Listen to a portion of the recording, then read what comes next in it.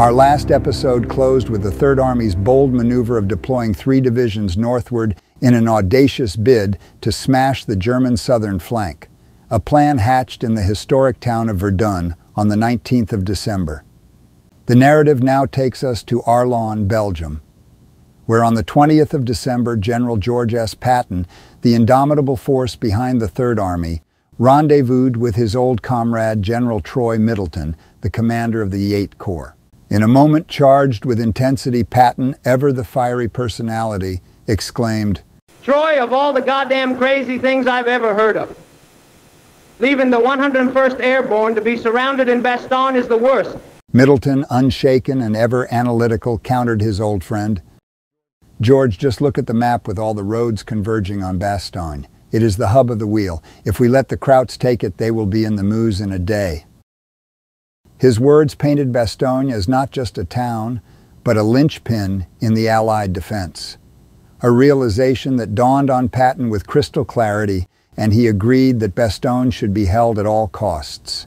By the 21st of December, Bastogne was encircled. A siege that heralded the 4th Armored Division's critical role in what was to become a relentless counteroffensive. The 22nd would mark the beginning of their attack, a classic movement to contact under a veil of uncertainty regarding the strength and disposition of the German forces arrayed against them. This is Battle of the Bulge, Episode 14, Movement to Contact.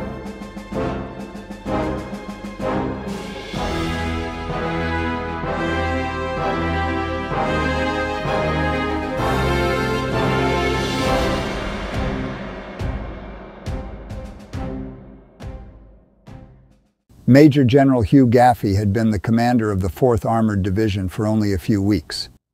But he was no novice, having previously served as Patton's Chief of Staff and commander of the 2nd Armored Division. As per United States Army's doctrine, he organized his division into three combat commands, each built around a tank battalion and an armored infantry battalion. His combat command subordinates were Brigadier General Earnest of Combat Command A, Brigadier General Dager of Combat Command B, and Colonel Wendell Blanchard of Combat Command Reserve. Combat Command B had spent most of December 19th on the road, driving more than 160 miles through France to Belgium. The lead elements left Cutting, France, early on the morning of December 19th and arrived in Vaux-les-Rosières, Belgium, at 8 p.m. on the same day, without encountering any German forces. Then on the morning of the 20th, an urgent message from Major General Middleton threw preparations into disarray. With the 101st Airborne nearly surrounded in Bastogne, he ordered CCB to fortify the city. Amidst this urgent request, confusion reigned. Did CCB belong to 8th Corps, or did it belong to the 3rd Corps? Dager asked Middleton to wait until he could establish contact with his boss, General Gaffey, but to no effect. With no alternative, Dager gave Major Albin Irzyk the mission to take a task force to Bastogne. Major Irzyk, commander of the 8th Tank Battalion, cobbled together a force comprising a medium tank company, an armored infantry company, and a battery of self-propelled howitzers, placing it under the command of his executive officer, Captain Bert Ezell. The task force soon departed, and unhampered by enemy action, made it to the center of Bastogne. Once there, Captain Ezell began coordinating with Colonel William Roberts of the 10th Armored Division. The mission took an abrupt turn when Major Irzyk, amidst the chaos, was instructed by Dager to recall Task Force Ezell. In no uncertain terms, Ezell was ordered to disengage and return, a decision met with understandable reluctance and confusion, causing the troops to ponder what clowns were running this circus. Without a shot being fired, Task Force Ezell would reunite with Combat Command B that evening. It would take a week of bitter fighting before they would occupy the same piece of ground. As the main effort, General Earnest's Combat Command A boasted the 35th Tank Battalion with over 40 operational Shermans and the 51st Armored Infantry Battalion. Attached to the command was Able Company, 24th Engineers, and Able Company of the 704th Tank Destroyer Battalion, all supported by the thunderous might of the 66th and 274th Armored Field Artillery Battalions. Earnest would create two maneuver task forces, one under Lieutenant Colonel Oden and the other under Major Alanis, veterans who had been with the division from its inception. The mission was clear. Advance under the cover of darkness to a position north of Arlon, and at first light advance, find the enemy, and destroy him. On the morning of the 22nd, both task forces came to an abrupt halt. Retreating American engineers had blown the bridge south of the village of Holtz and cratered the road along the main highway between Arlon and Martelange. General Earnest ordered the two task forces to combine and advance up the main road once bulldozers had filled the crater. Having filled in the crater, Combat Command A inched closer to the urban maze of Martelange.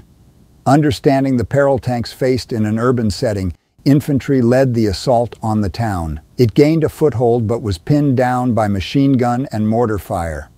At nightfall, the tanks went in, and the stalemate ended with the GIs in control of the town. However, the Germans still controlled the bridge over the Sauer River. To the northwest of Combat Command A, Combat Command B advanced along a secondary road. Just before noon, scouts from B Troop, 25th Cavalry, reported that the bridge over the Sauer was destroyed and that they were under fire. The lead commander, Major Irzyk, knew what to do, and he put together a textbook operation for establishing a bridgehead. First, he ordered tanks to provide direct fire support while artillery fire from 54 guns kept the Krauts pinned down.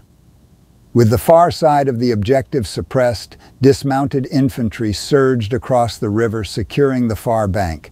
As darkness closed in, the infantry occupied Burnon, and Irzyk ordered the combat engineers forward.